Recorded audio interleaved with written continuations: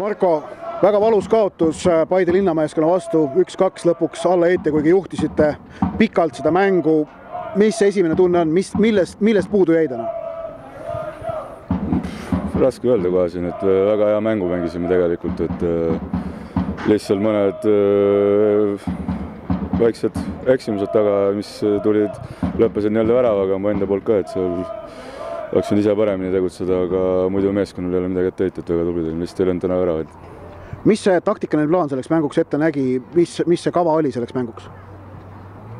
lihtsalt mängida jalgpalli, et äh, hoida palli ja tekitada võimalusi ja mängu võita, aga alati see ei õnnestu Paide tuli neile, teile nüüd kolme punkti võrra lähemale, aga mängida on veel palju, terve, terve neljas ring veel. kuidas sa nagu arvad, milliseks see pronksivõitlus teil omavahel kujuneb?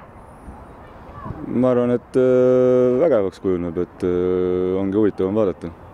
et vaatame, mis hooaeg too, hooaja lõpp toob, et meie kindlasti anname endast parima, et see kolmas koht hoida. hüva, aitäh sulle, Marko, jõudu, jaksu järgmisteks mängudeks.